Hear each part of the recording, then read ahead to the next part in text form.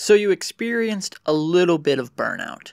Well, let's talk about five ways that you can kind of break that slump and kind of prevent yourself from ever feeling reader's burnout. Let's get into it.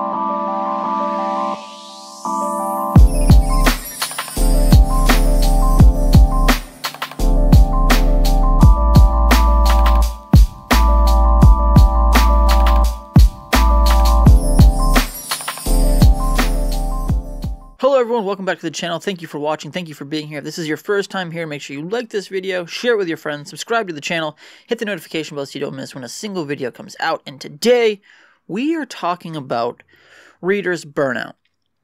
If you watched my March TBR video, you saw that in February, I experienced some burnout. So we're going to talk about how does that come about and what are some things that you can do to counteract, to get on top of it before it even starts, so that you don't get into these big reading slumps where you dose, don't read anything. I'm to give you five tips that I think are useful, that help me, and that I think will help you if you start feeling yourself kind of like when you pick up a book, you're just not that excited to get into it.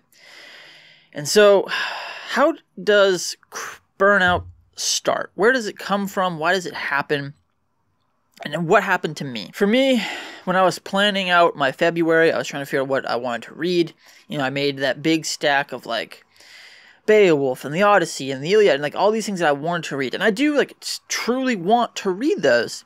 But when I like sat down and like picked it up, like I start reading through Beowulf, and it's a little more challenging than I had like originally anticipated. So it was taking me a little bit longer. Getting the videos about like the historical context for Beowulf was taking me a little bit longer than I anticipated, and I kind of just like I just got in my own way, where I just was reading because I felt like I had to, not because I wanted to. And that is 100% a feeling that I always want to avoid because it is the main reason that I stopped reading in the first place because it started feeling like this was something I had to do, not something that I wanted to do. So I would like to encourage you that if you start feeling that way, like maybe you do need to take a break. Maybe you do need to step aside for a little bit. That's not one of the tips, but like it is a very real thing. Like you can love reading, you can have too much of something that you love, and it is okay to accept that like, well, maybe I need to take a, like a break from this. Maybe I need to take a step back, and maybe I don't need to be like reading as much, or I just need you know, I need something different. And if you feel like you want to keep reading but you need that something different, that's what this video is for. Now, I love fantasy. I love long running series. I love comics. Like these are all things that have like these very long running things like that for you to dive into. But sometimes like that can be a little much. And so my first tip, which is very just kind of like generic, a blanket thing that you could apply to anything, not just fantasy or comics or anything like that, is to take breaks. To take breaks between these things. Like as if you saw my TBR video, you saw that we were starting the Wheel of Time, and that my plan for that is to go very slow. I will be reading books concurrently with the Wheel of Time because I want that to be a, just a very slow thing that we just kind of chip away at and chip away at. And so that would be like my first tip is if you're tackling a big series, a long series, like don't try to read them all just back to back to back to back to back. Like you're going to get sick of it, you're going to get tired of it, and then you might put that series down and never come back to it, even though it was a series that you really loved. So take breaks. Read a book of that series that you're enjoying. Read something else. Uh, maybe read two books of the series that you're really enjoying, and then kind of like be like, all right, I need, I need to cool it off because part of like the fun and like reading them and enjoying these books is the anticipation. Is like I loved this. I can't wait to see what happens next. And when you take a little bit of a break, it encourages that. It is 100% you delaying gratification for you to be like, ah, I, can I cannot wait to get back to that. And so you, you read while you're reading this book in between, you're also like you're keeping it fresh in your mind and you're thinking about it and like you're you're excited for the next book. You're excited to be reading. And that is kind of why you should be breaking them up so that you can create this kind of like excitement that might not exist if you're just plowing through them by giving yourself a little bit of a break between them by delaying when you start them all you're doing is just like amping up your excitement Now, the downside of that would be if you don't end up enjoying the next book in a series, you've just like really played yourself up to get let down, but that's going to happen. That's part of that is part of the game. My next tip is going to be that you need to be reading widely, right? If you find yourself like only reading fantasy books, maybe try something else, some an action adventure, maybe try historical fiction, maybe try a horror book or you know, something something else, something that is so vastly different than what you are currently reading, so that it, it just kind of keeps things fresh and interesting and exciting. Find other genres that you like, other genres that you enjoy, and mix those in with like your favorite things. And that that can be anything. Like, like I love fantasy, but I also love horror. So being able to read long fantasy series but splice horror books in there, like it is the perfect balance of still being able to read things that I enjoy, but without like plowing through series so fast and then they're just over with, and I'm done with them. But like, putting a horror book in between, well, now I'm excited to read that horror book, and now I am reading that, and I don't get so burnt out on the series. I don't get so burnt out on reading Game of Thrones or reading Dresden Files. I don't get so burnt out on those. You know, that good that switch up is kind of like what I need to keep myself from feeling like overwhelmed or from feeling that I'm moving through a series like too quickly or that I'll be done with it soon or that I'm not really enjoying this right now because it's exactly kind of the same as the last book and I just don't know if I really want to be reading in this world. Take a break, read a different genre, read something else, read something that's so vastly different so that you don't like kill something that you love by just oversaturating yourself with it. Find other things that you enjoy in other genres and just kind of put those in between so you're always constantly just shaking things up. Third, and this needs to be stated, I should have made it the first point, but do not be afraid to DNF books. I used to be this way. I used to be afraid of like oh, I spent money on this book. I got to read the whole thing. That is nonsense. If you don't want to read something, don't read it. And I, you will particularly find that like trying to force yourself to read a book that you're not enjoying is going to create a slump faster than probably any of these other things.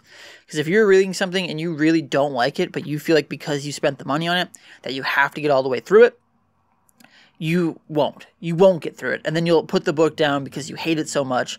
And then you'll just stop. You won't even pick up the next book. Like you will just stop reading.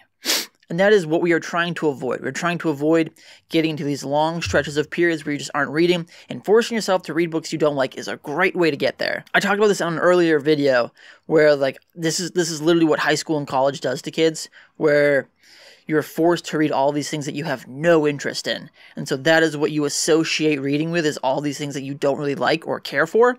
And so you just you associate that with I don't like reading, but really you don't like reading the things that you were forced to read. But you probably would enjoy reading if you got to pick and had full range of anything out there that you wanted to enjoy. Don't force yourself to read books you don't like. You will find yourself in a slump. You will find yourself just like not wanting to read, not wanting to carry on. And really, it's not that even that you don't want to be reading, you just don't want to be reading that book. So don't create this notion that you must finish a book that you start if you're really not enjoying it. My fourth tip for you would be read multiple books at a time, right? Uh, I, th- this isn't really necessarily going to work for some people. I've been doing it since I was in college because I, I was forced to. I was an English major. I was a double major actually in English and philosophy. And so I was having to read five or six books a week. And so like I I couldn't not be reading multiple books at the same time.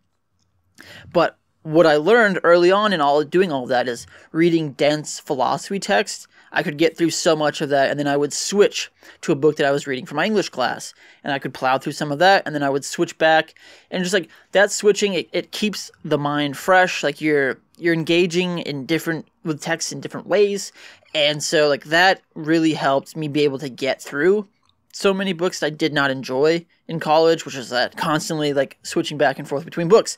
And I even I, I still do it now. I read multiple books at a time. I am currently reading like four books and I, I like to always be reading a nonfiction book that I kind of just slowly get through.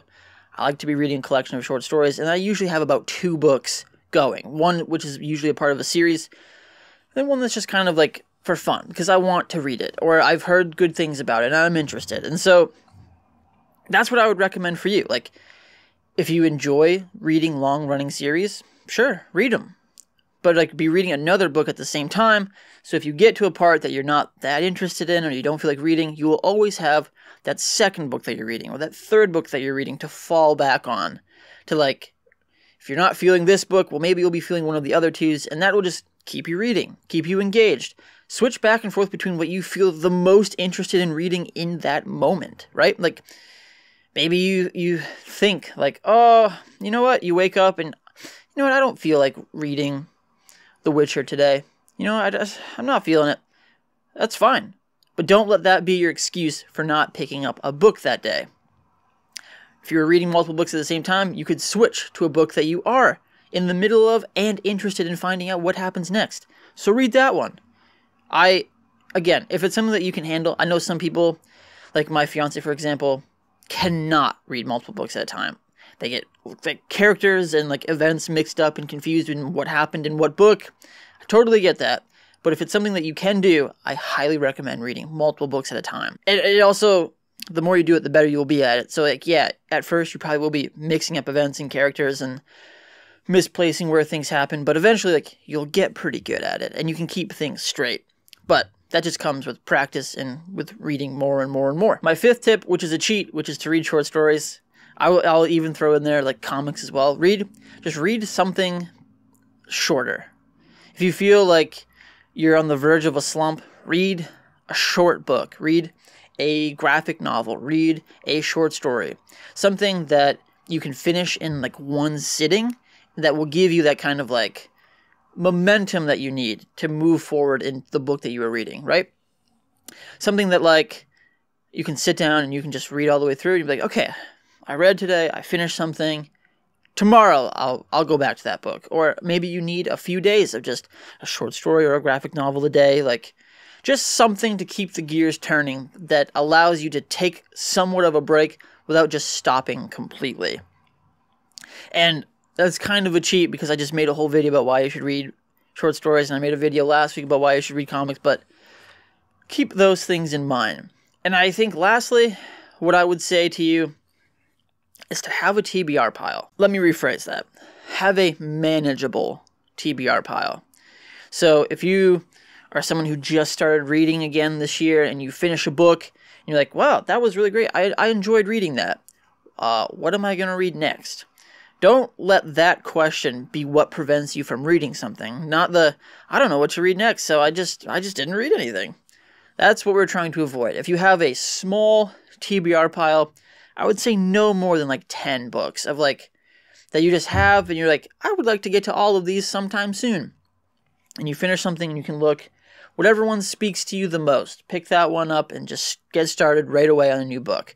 Don't let time lapse unless it's a real like heavy hitting book that you need to dwell on and think about, but even still, you can do that while reading a new book. And I say don't let it get out of control because technically all of this is a TBR pile.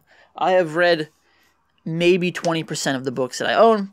I'm trying to get better about that, but it's probably never going to happen. And so all of these I would like to read at some point. That's why I bought them. But my actual TBR pile is a lot smaller. It has like six books in it currently of like these are just things I would like to get to when I finish what I'm reading. And I think that also having that little pile staring you in the face day after day after day is the little kick in the butt you might need to like get moving and keep reading.